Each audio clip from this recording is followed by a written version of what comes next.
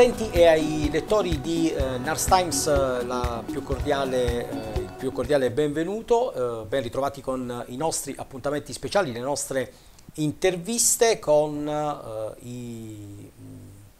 gli esperti e eh, soprattutto i referenti, i presidenti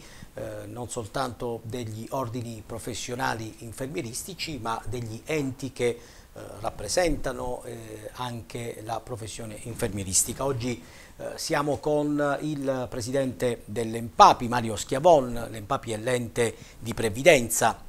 della professione infermieristica. Noi lo ringraziamo innanzitutto per aver accettato il nostro invito, per eh, aver eh, dedicato eh, il suo tempo a questa chiacchierata che comincio visto che lo dicevo in fase di presentazione eh, Presidente, eh, c'è stato questo eh, cambiamento eh, sancito non soltanto dalla legge Lorenzin ma anche adesso da un congresso nazionale che è stato celebrato all'inizio del mese di, di, di, marzo che ha portato la professione infermieristica a non essere più eh, sotto eh, l'ombrello del collegio ma sotto il nome di ordine. Allora tutti a chiedersi che cosa cambia e che cosa cambierà per la professione infermieristica eh, visto che c'è un, un, un, nuovo riconoscimento. Poi cercheremo di spiegare che cosa cambia anche per la libera professione questo passaggio da collegio a ordine. Il collegio e ordine è solo un aspetto verbale, diciamo, nel senso che il collegio sotto il profilo giuridico aveva le stessissime caratteristiche e prerogative de, dell'ordine. Cambia sotto il profilo culturale, sotto il profilo anche del giusto riconoscimento giuridico, nel senso che eh, agli ordini si iscrivono i laureati, ai collegi si iscrivono i diplomati. E noi eravamo diplomati, dal 99 più o meno sono iniziati a eh, laurearsi le, i primi professionisti eh, e quindi è chiaro che da quel momento doveva essere trasformato in ordine. Il viatico è stato un po' lungo, e oggi siamo arrivati e quindi è il giusto riconoscimento dal punto di vista eh, della professione, nel senso che questa è una professione che acquisisce una laurea e come tutti i laureati devono avere un ordine. E, ed è anche corretto che eh, sia avvenuto finalmente in quanto c'è un pari confronto, perché diciamocelo pure che tra gli ordini e collegi il confronto era sempre visto tra fratello maggiore e fratello minore quindi questo è, è il giusto riconoscimento. E diciamo che la professione lo ha vissuto molto positivamente, questa trasformazione, è avvenuta anche in concomitanza del primo congresso eh, della FNOPI, un bellissimo congresso, fatto molto realistico, pratico e anche molto eh, ricco di contenuti eh, che sono propri della professione, quindi io l'ho vissuto con molta partecipazione da spettatore, ma devo dire che sono rimasto molto positivamente colpito. Eh, questo passaggio oh, lo definiva anche lei culturale, questo riconoscimento oh, della professione infermieristica che è professione intellettuale eh, oltre che eh, professione alla quale si accede attraverso un percorso universitario. Questo passaggio culturale, questo scatto culturale eh, crede eh, sia, vada di pari passo o possa eh, sostenere il cambio culturale anche della professione infermieristica. Mm, la racconto in maniera un po' più semplice, eh, la professione infermieristica è vissuta sempre come eh, quella all'interno di una sanità pubblica, eppure noi ci rivolgiamo, in questo momento dialoghiamo con il presidente dell'ente di previdenza eh, della professione infermieristica, eppure la libera professione dovrebbe, anzi è nei fatti anche per, per gli infermieri. Eh, ritiene che questo passaggio da collegio a ordine possa ecco, sollecitare un cambio di passo culturale anche tra gli infermieri? Diciamo, diciamo che eh, il passaggio ad ordine può eh, permetterci a livello di ehm, contrattazione nei, nei tavoli della politica, nei tavoli della rappresentanza, ad ottenere le stesse cose che hanno ottenuti le professioni che hanno già un ordine. Quindi non porre più differenze, secondo me, il mio giudizio personale chiaramente, non porre più limiti sul fatto della connotazione ordine o collegio, ma eh, avere i stessi diritti da laureati di un settore o dell'altro settore e più che collocarci sotto il profilo del riconoscimento sindacale, quindi siccome gli infermieri sono dentro al comparto devono stare lì, e collocarci in una condizione di confronto tra professionisti iscritti agli ordini, che devono avere pari diritti di rappresentanza, ma pari diritti anche di ottenimento di alcuni eh, eh, provvedimenti che autonomamente ogni professione deve adottare per assicurare l'immagine stessa della professione. Io, per esempio, parlando in alcuni convegni anche con la Presidente nazionale della FNOPI, devo dire che eh, c'è un riconoscimento, e sentendo anche quelli di cittadinanza attiva, c'è un riconoscimento, un salto in più anche da parte della popolazione come riconoscimento nei confronti della popolazione eh, professionale infermieristica il fatto di aver avuto un ordine e quindi questo io credo che sia un momento per cominciare a discutere anche sui tavoli eh, per avere i giusti riconoscimenti, anche di carattere contrattuale. Non spetta molto alla professione, ma quando io parlo di contratti non parlo tanto del contratto di lavoro dei dipendenti, ma parlo anche proprio del, del capacità di contrattare dei professionisti liberi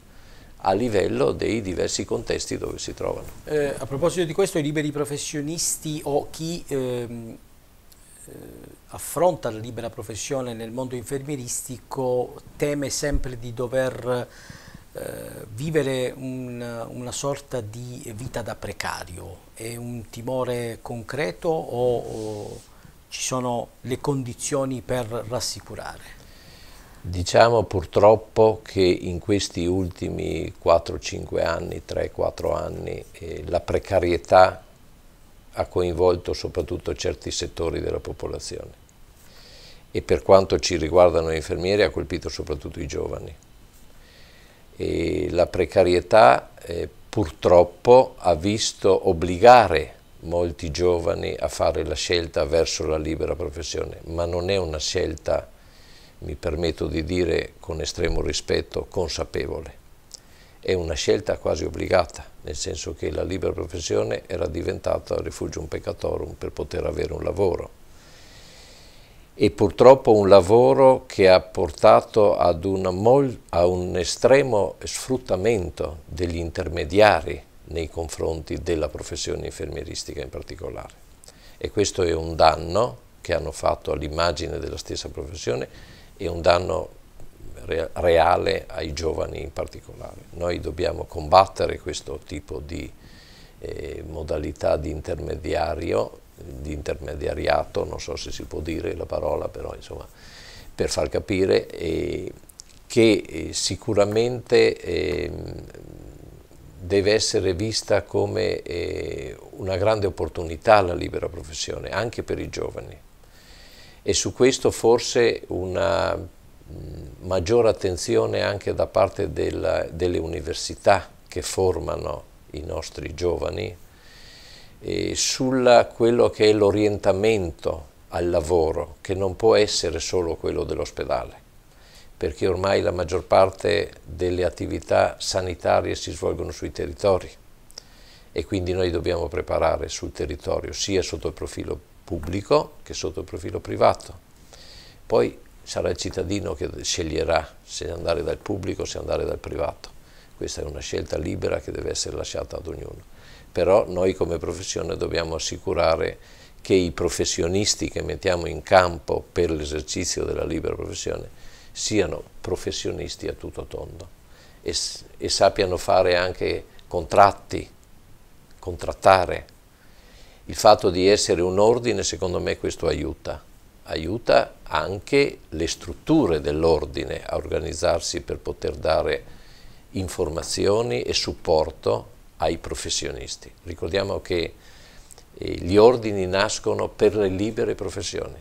non nascono per i dipendenti. Poi sono stati inseriti anche i dipendenti e, va bene così perché c'è un, un, maggiore controllo, però ricordiamo che per questi sono stati costituiti proprio per assicurare al cittadino la garanzia che il professionista ha determinate caratteristiche e quindi è un'immagine eh, corretta eh, se eh, volessimo eh, identificare l'Empapi come una sorta di eh, appunto, guida, eh, di una sorta fratello maggiore, una sorta di, di padre che accompagna nella libera professione gli infermieri. Allora, l'EMPAPI è l'ente di previdenza e assistenza della professione infermieristica. Per previdenza si intende l'accumulo di contributi durante l'età lavorativa per poi assicurare delle pensioni. Assistenza significa assicurare l'accompagnamento durante il percorso lavorativo, il sostegno, l'intervenire in caso di eh, situazioni meno fortunate rispetto a chi riesce a guadagnare, riuscire a dare qualche contributo per malattia, riuscire a sostenere gli orfani, riuscire a sostenere gli invalidi, riuscire a dare tutti quei supporti che in realtà noi diamo nei nostri istituti. E ultimamente abbiamo inventato anche un aspetto di sostegno ai giovani che avviano l'attività professionale, per esempio. Però è dentro questo alveo che noi vogliamo rimanere, vogliamo rimanere dentro la nostra funzione Certo è che il professionista ha bisogno anche d'altro e molte volte se non lo trova viene all'Empapi. L'Empapi non dice di no a nessuno. Se ha delle informazioni necessarie anche per l'esercizio della professione, queste informazioni le dà, ma sono informazioni conosciute, non sono informazioni inventate dall'Empapi.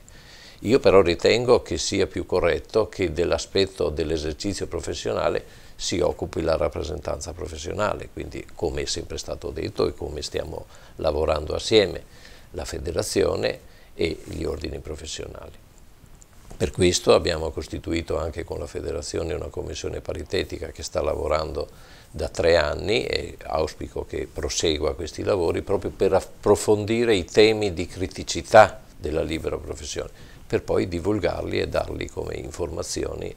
soprattutto ai giovani che molte volte escono dalle università privi di un'adeguata conoscenza per affrontare questo mondo, che in questo momento è sparso di molti avvoltoi che approfittano anche della professione infermieristica, oltre che dai cittadini in difficoltà. Vi chiedo un'ultima considerazione, un'ultima uh, riflessione sul eh, sull'anno, sul 2018 che attende l'ente di previdenza della professione infermieristica, eh, perché eh, se, se, volessimo più che tracciare un bilancio ma proiettarci ai mesi futuri, che priorità ci saranno? Ma noi nei prossimi giorni, abbiamo nei, prossimi, nei scorsi giorni approvato il bilancio di consuntivo 2017, quindi ci affrontiamo a chiudere questo anno che è l'ultimo anno di mandato, quindi è un anno che ci vedrà eh, sicuramente impegnati sui territori per informare gli iscritti su quelle che sono state le attività che abbiamo implementato in questo ultimo periodo e anche raccogliere quelle che sono le eventuali istanze che gli iscritti intendono o miglioramenti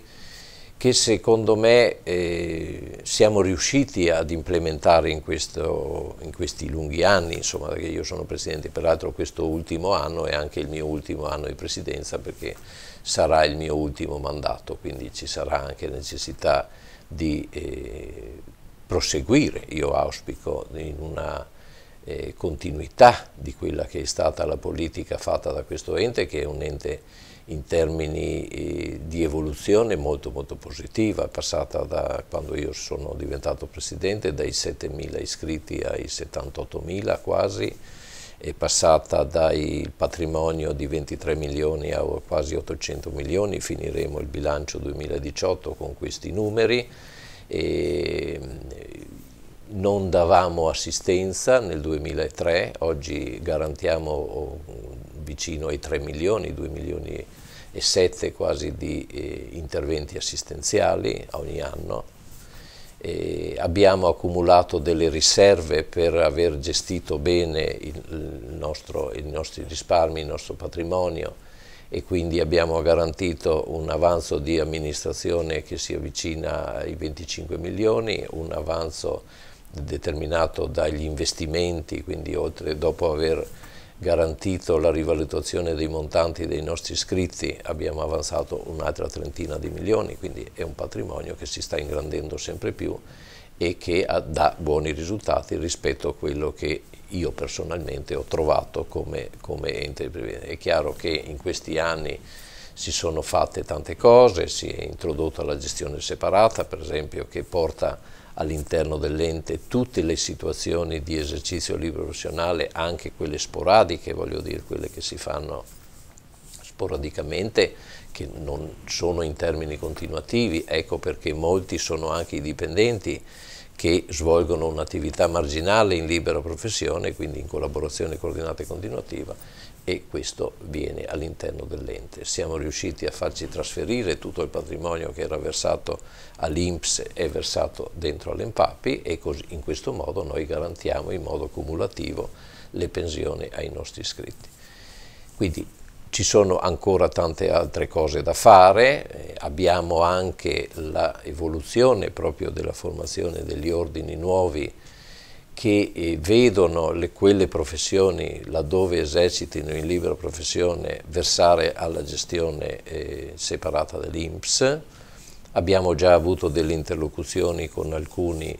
eh, che vorrebbero venire all'interno dell'Empapi, questa è un'opportunità che naturalmente eh, l'Empapi mette a disposizione di tutte le professioni per valutare se ci sono le condizioni di creare un unico ente di previdenza e sarebbe secondo me una bella cosa che si crei un unico ente di previdenza di tutte le professioni sanitarie non mediche che potrebbero raggruppare un numero consistente di iscritti ed è chiaro che laddove ci sono tanti iscritti c'è anche una maggior eh, possibilità di dare servizi sempre più elevati agli iscritti stessi. Insomma, ecco, Io ringrazio il Presidente del Papio Mario Schiavone, ringrazio anche i nostri lettori e i nostri ovviamente utenti per averci eh, seguito in questa intervista, vi ringrazio e vi do appuntamento ad altri appuntamenti, ad altri approfondimenti con l'Ars Times.